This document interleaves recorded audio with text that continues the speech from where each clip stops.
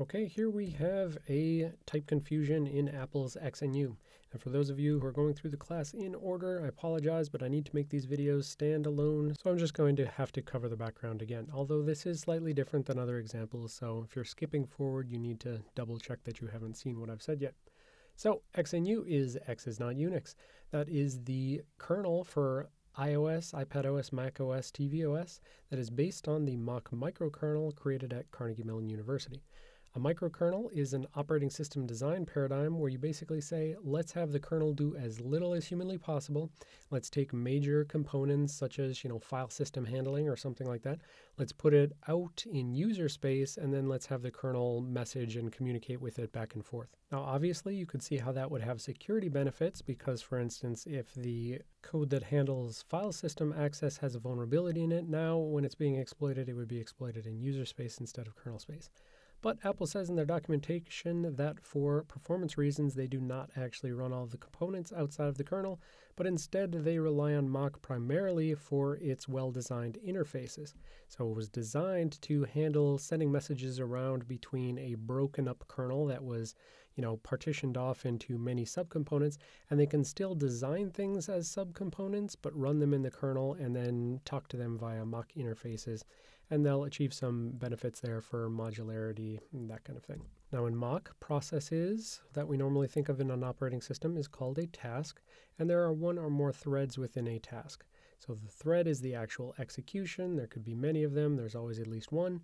And then the task is sort of the container that has all of the uh, information associated with the process important thing that it has is these things called ports because in this design paradigm where they're supposed to be sending messages around through various components of the system they need to do interprocess communication and they do that via these unidirectional message interfaces called ports.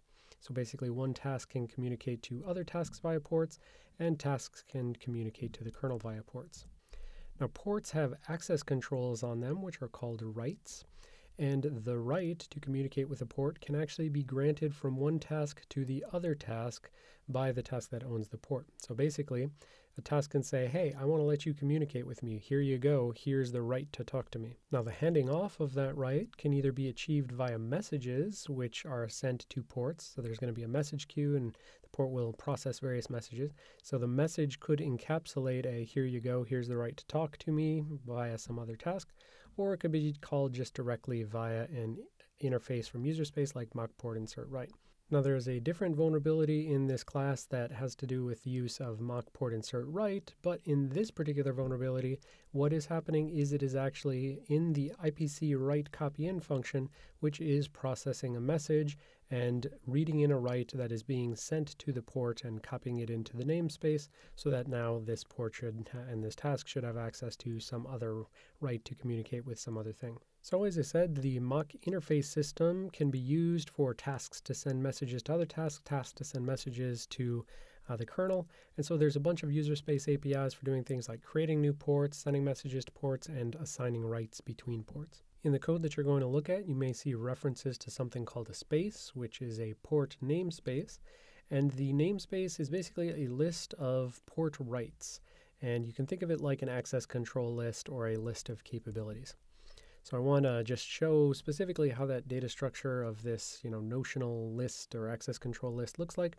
So there's an IPC space, and the important thing in it is this is table field. The is table field is a pointer to an array of entries, and these entries then are the things that have to do with rights. And so the first entry is a pointer to an IPC object, and that corresponds to the IPC object that can be found as the first element of a port. So this is basically going to be a port. So one entry pointing at one port and describing what privileges it has. Okay, so this vulnerability, again, is a type confusion, and what is it caused by? It's caused by a race condition due to the opportunity in Mach for multiple user space threads to be sending all sorts of Mach messages around.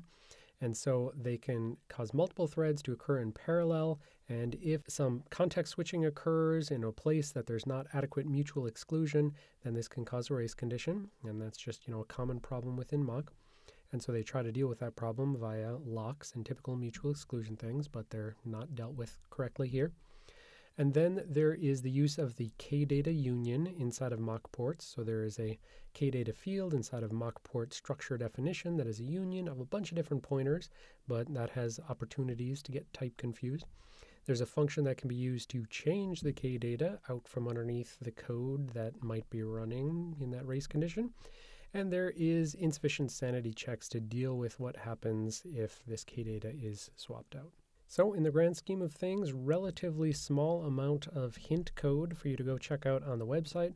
As usual, the hint code is just for something for you to refer back to. There's a few, you know, comments inside of there, but go look around in the real code, refer back to the hint code and see if you can find the type confusion vulnerability.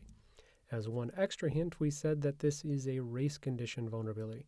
So thread one is doing something and you've got to figure out, you know, which function it is it in and where exactly is that function preempted. And if preempted, going off to some other attacker controlled thread and doing some attacker controlled operation would cause something bad to happen when context switches again back to thread one and it continues on in a type confused state. So go ahead and figure out, you know, what one and two are, where the confusion opportunity occurs.